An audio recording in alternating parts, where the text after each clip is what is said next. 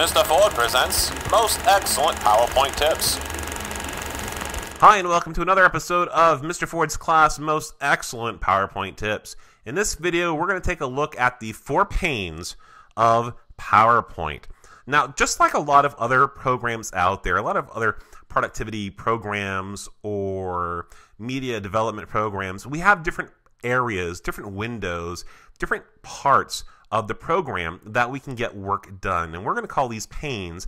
And PowerPoint has four of them. We have what we call the thumbnail pane, the slide pane, the notes pane, and the task pane. Beginning first by taking a look at the thumbnail pane. This over here is the thumbnail pane. This appears by default on the left side of the screen, and you can see a little window right here, a little thumbnail right here that says, I'm the thumbnail pane. Right there, this is the thumbnail pane.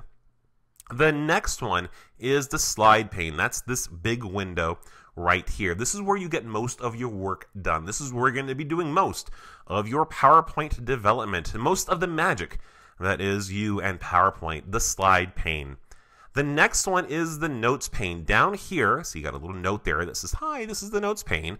Down here is the notes pane. If you are doing a presentation, whether you're a K 12 teacher, college teacher, professional trainer, or you just need to do this in a business meeting, this is where you would write little notes to yourself about your presentation. Maybe places to take bathroom breaks, maybe a little funny anecdotes about something that's happened to you that relates to what you're talking about. Here is where you would put them in the notes pane.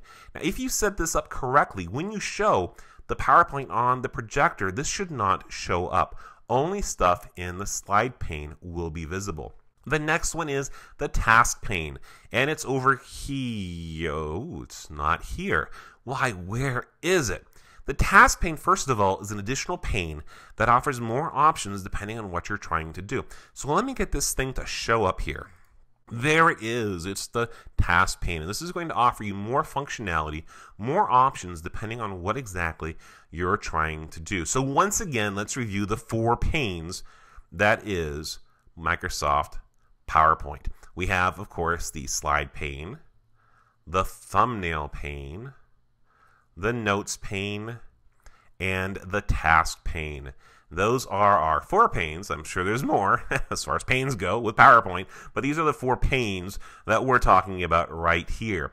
Thank you very much for watching. Be sure to click that subscribe button and be sure to like, subscribe, and tell your friends that's how this channel grows. That's how I pay the bills. If you have any questions or comments, please be sure to email me at Mr. Ford at MrFordsClass.net. I'm always looking for good questions to answer in future most excellent PowerPoint tips or our new program, Most Excellent Word Tips. So be sure to send me an email there, Mr. Ford at MrFordsClass.net. You can also find me on Twitter at Mr. Ford's Class or join the conversation on our Facebook page, Mr. Ford's Class Learning. Until later, have a great day.